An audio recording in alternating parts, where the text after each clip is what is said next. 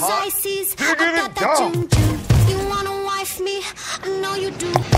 I'm on that gravy train. Have bitches making waves. It is starting to get real money down the now, ain't it? Get the cash flow, throw money down the drain. sweet.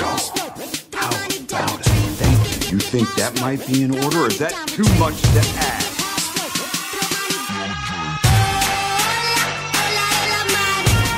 You want to take over?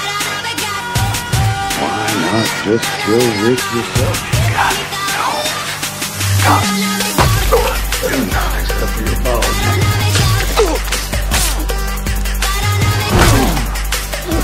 I'm just